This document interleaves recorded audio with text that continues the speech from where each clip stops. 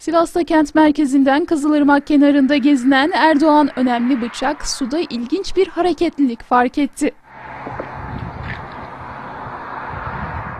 Önemli bıçak tanımlayamadığı hareketliliği cep telefonuyla kaydetmeye başladı. Bir süre devam eden hareketlilik kıyıya doğru yaklaşmaya başlayınca gerçek ortaya çıktı. Sudaki hareketliliğin sebebinin ırmağa balık avlamak için giren köpek olması gülümsetti. Sosyal medyada ilgi odağı olan görüntüler Kızılırmak'ta köpek balığı benzetmesiyle vatandaşlar tarafından paylaşıldı.